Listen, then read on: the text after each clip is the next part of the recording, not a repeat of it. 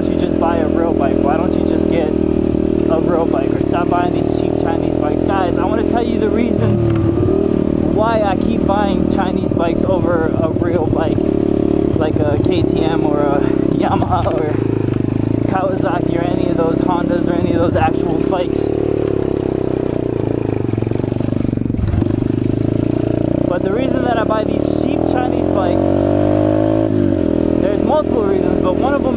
one, they're cheap. They're they're affordable, and I know that I can go to Craigslist. I know that a lot of you guys argue the argument of just go to Craigslist, you can buy a $2,000 bike that actually runs good. But you have to remember, when you do get those bikes, it's not guaranteed. It's not guaranteed that the bike's gonna ride perfect, like like this bike. This bike, when you first get it, it's brand new. You don't have to deal with no problems. Um, and being that I'm a beginner rider, as in like never rode a dirt bike before, I didn't want to deal with learning how to be a mechanic on a bike that I can't ride yet. 'Cause to be a good mechanic, you have to know how stuff works. And if you don't have a bike that works, how are you supposed to work off of it? But these bikes, I can ride them, dog them. If something goes wrong, I can mess with it to see what it is, something small. Those real bikes, if you buy one for like two thousand or a thousand dollars, you're gonna end up having some type of problem eventually down the road. So the best thing that you can do is it's like a puzzle. You're gonna have to literally do so many different things to try to solve what the issue is because you don't know how the person before treated it. You don't know what they did with it. You don't know any of that stuff. And these bikes come brand new, so I know how I treated the bike. I know how I put it together. So I know a little bit more about these bikes rather than a professional bike, uh, KTM, Honda, Ya- Yamaha. Any of those professional bikes, I know this bike a little bit better.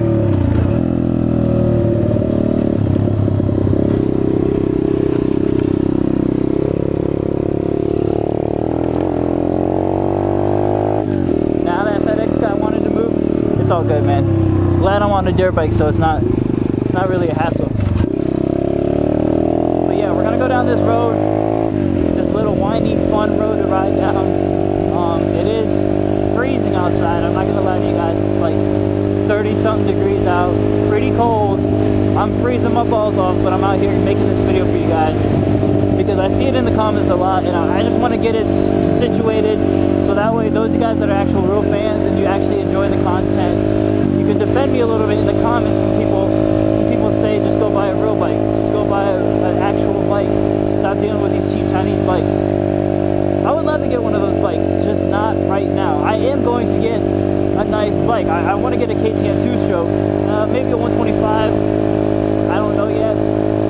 Eventually I will get it. I'm thinking next riding season I'm gonna have it by then. But for now, I'm probably gonna get it in the winter because in the winter is the best time to buy bikes just because everyone's done riding for the season. Uh, they want to get a new bike in the next season. They're just getting rid of it. They don't want to garage keep it or something like that. It's just it's to buy bikes in the winter because it's cheaper because people aren't actually out there riding it. Holy shit. I didn't even notice my GoPro was looking way too far down. But yeah, I mean, there's no point in buying that. For a beginner biker, I get it. If you're not a beginner biker, if you rode before, to go buy one of those. These cheap Chinese bikes ain't shit compared to those bikes. But I'm a new rider. Like, I, I just started riding this year. Um, I just started working on the bike and learning about it and stuff. And like, I learned from you guys as well. Like, there's a lot of comments that you guys comment and you guys give some great suggestions and it makes I actually take that and I use that and I keep that knowledge so I'm learning as we go just like you guys but this channel right now is based around beginner riders like people that want to try riding a dirt bike that want to get into riding and stuff like that people that first want to learn how you don't know if you're going to be good on a dirt bike you don't know if you have like the natural balance or the skill to be able to ride a bike. Now it's not hard but then again there's some people that grow up never riding a bike like not even just a motorized vehicle but like a bicycle. So their balance is like very hard and they might not like it. They might get on a bike and be like no it's too scary i don't like it.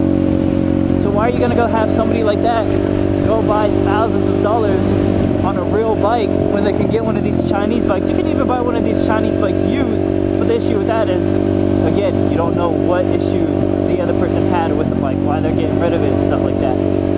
But again, these bikes aren't expensive. They're under a thousand dollars and you can do monthly payments of like 78 80 dollars a month which is not bad of a deal honestly but yeah this this channel is based around beginner riders people that are brand new to riding they don't know if they're gonna like it or not they want to learn they want to be able to drop the bike and not be worried if you go out and buy a $2,000 bike or even expensive more expensive like a newer bike like a $5,000 bike that you know is to work and run you're gonna be so scared to drop it because the second you drop it once, you're just gonna be like, dang, I just dropped my expensive ass bike. And you could break something on it.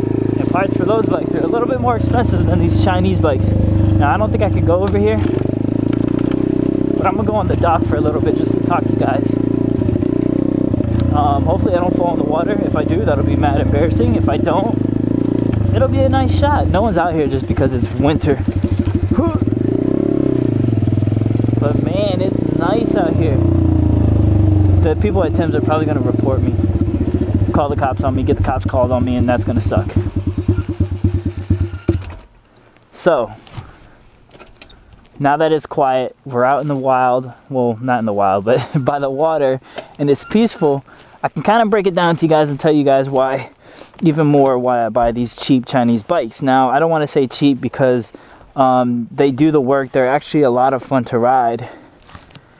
But if you compare it to like a real bike, I understand where you're coming from. It, it, it is more of a hassle. It does have more problems. It does break quicker. It does um, not have the power that a real bike has. Like, for instance, this is a 125. If I get a 125 two stroke, it's going to be insanely a huge difference between this and the two stroke uh, KTM it's just the price you guys. And plus i'm building this channel around what i like to do. So far right now i i'm a beginner rider. So i'm gonna reach out to the beginner riders out there. I'm gonna cover uh, a lot of these chinese bikes as much as of them as i can so that way i can give you guys my honest opinion. So on my channel you'll have reviews you have speed tests you'll have 10 things we love about each bike 10 things we hate about bikes. We've bought i think five maybe five to six bikes, Chinese bikes that we've tested and played with on the channel. So if you guys do want to see which one will be best for you for any beginner rider out there, go watch some of those videos. But for now, I mean, this this is the next bike we're covering is the Peace Moto. Um, I think it's the XB87 or something like that. I'm not too sure. Don't quote me on that. But the Peace Moto bike is the next bike we're covering here on the channel. So, so far, I do love the bike. I do like it. It rides good just like every single bike when I first ride it, but the more we ride it, the more we start to see problems with it. And that's what we're doing on this channel is we're riding these bikes and we're we're we're learning as well as reviewing the bikes for ourselves. Now, I'm not going to come on this channel and be a professional rider reviewing cheap Chinese bikes because I'm gonna know what not to do and what to do. But the thing is, is being a beginner rider riding this bike, it puts you guys in the same situation. Like it's more relatable because I'm gonna stall out a lot of times. I'm gonna mess up and miss a gear or, or something, something random with this bike where something that a beginner biker will do. I'm gonna drop the bike and stuff. So I'll be able to review the bike and see how durable it is, how long it lasts, how nice of a bike it is and stuff like that. So I'm gonna give you guys the best reviews that I can on the channel. And that's that's the reason I get these cheap Chinese bikes. And I keep saying cheap Chinese bikes because I mean one, price wise it's cheap. Two, it's cheap because the parts apparently break quicker than real bikes. And three, it is a Chinese bike. I don't even know. Honestly, I don't even know if these were made in China. I don't know why they have that reputation as Chinese bikes, but that's what it has. But for the price, you're getting what you're paying for it. So, I mean, it gets the job done. If you're a beginner rider and you want to ride, you want to learn how to wheelie, and you don't want to go dropping a $5,000 bike, you can just get this for like $700, $600, and you can beat it up. You can do whatever you want with it. You can drop it as many times as you want. Um, you can learn how to be a mechanic on bikes because you can break a lot of things on it and then you can fix it because you know the issues you're learning as you go. And I think that's the good way to go with these bikes because if you're learning as you go, you're to have more knowledge. If you get a bike and you try to step it up, I mean, it's not, I'm not saying it's wrong to go get a KTM for the first bike ever. Because don't get me wrong, if you have the money, go for it. I mean, one, you're gonna love the power. You're gonna you're gonna love that bike just as much as somebody like me loving this bike. Now the thing is, is when I do get a KTM, these bikes, these Chinese bikes, like right now for these Chinese bikes are gonna just they're gonna feel slow, they're gonna feel boring, they're gonna feel not as reliable. And that's the thing is I don't want to jump onto that bandwagon yet of having a real bike until I get better at riding because then I won't give you guys honest opinions and honest reviews on these bikes for beginner riders. This channel is based around being a beginner rider. So for instance, like right now, this is one down for first gear, half a click up is neutral, second, third, and fourth are all up. But for a beginner rider like me, sometimes I struggle finding neutral. See, like right now, I'm not in neutral, so I'll click it down, put it in first gear, make sure it's in first, then I'll try to half click up, to get it in neutral and sometimes it doesn't work and that's the thing is like when it comes to riding for the first time you're gonna have these issues. I think we're in neutral. Yeah we're in neutral now. So so with that being said if you guys can I know a lot of people are still gonna comment. I don't usually reply to those comments. I don't usually pay them any attention. But I wanted to let you guys know so that way those of you that are actually curious about it, you know the reasons why I don't get an actual bike yet. I'm going to eventually. Don't get me wrong, it's just, it's about the right time. So next season I will for sure. But for now, I'm just gonna stick with these Chinese bikes. I'm gonna keep reviewing these Chinese bikes for the beginner riders out there. Um, and then eventually we'll, we'll upgrade. We'll, we'll start to learn things. We'll start to learn how to, we'll learn how to hold wheelies better and stuff like that. I mean, when I first started riding, I can only wheelie in first, not even wheelie, I can only pop it up in first gear. I first learned how to ride, I would actually, if you guys go to earlier videos on the channel, you'll see that the way I did wheelies was in first gear, not moving at all. And if you're an actual rider, you know that that's a lot harder to hold a wheelie like that. I mean, yes, it's easier to pop because first gear has all that torque. And when you're not moving, it just pops up. But the thing is, is now that I'm getting better at riding, I can pop it in second gear. So that's first gear. As you see, I'm gunning the gas and I'm not being able to hold it up because there's not enough power in first gear to hold it up. And now that we're in second, we can ride and we can hold it up a little bit better. Now the next step that I'm working on is getting it back far enough to the point where I'm not I'm not relying on chasing the wheelie down. I'm not relying on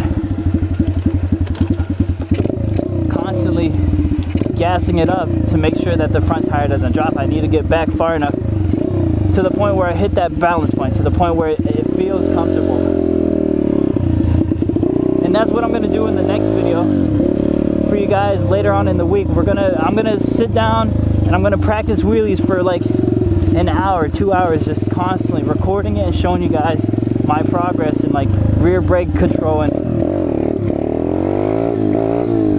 all that stuff. But this bike, I love this bike. The Peace Moto, honestly, is a lot of fun doing wheelies on. That lady looked at me kind of weird. But yeah, it's all about learning, and I, I, I'm sorry this video is shorter. I just had to address some of the comments about I'm not gonna say who exactly commented, but there are people, and you know who you are, who comment on my videos talking about go buy a real bike. Stop buying these Chinese bikes. With all the money you spent on Chinese bikes, you could have got a real bike. I understand, but it's not like I can't go sell these bikes and use that money, use that, what, $500 each bike I sell, use that to put into my new next bike. Plus, I probably won't even do that. I'll probably keep these Chinese bikes and let my friends ride it and stuff like that. These are kind of like beginner bikes. So if I have friends over and stuff that want to go ride, I have these bikes for them so they can ride it and they can use it and have fun with it. So, so I'm actually glad that I did this. I'm, I'm not disappointed or regretting any decision that I made. This bike is sexy. I love it. I have the Peace Moto. We have the Tao Tao 140. We have the Apollo 007, the Apollo RFZ. We had the Apollo 250, but we sold that because that bike was trash. Pretty expensive for the price, which compared to a real bike is not expensive, but it was like a thousand, like 400 maybe, a thousand three hundred, and the bike wasn't anywhere as good as these bikes. So these 125s are the way to go. The 250 is not the way to go. Um, just because it's so heavy and big and bulky that it's not fun to ride. These are just little pit bikes that are fun, enjoyable. You can hit trails, you can learn how to ride on them and stuff like that. But guys, that being said, I'm ending the video there. Stay tuned for next week because we're going to be recording me and my progress of learning a wheelie. So hope you guys enjoyed and I'll see you guys in the next video. Peace.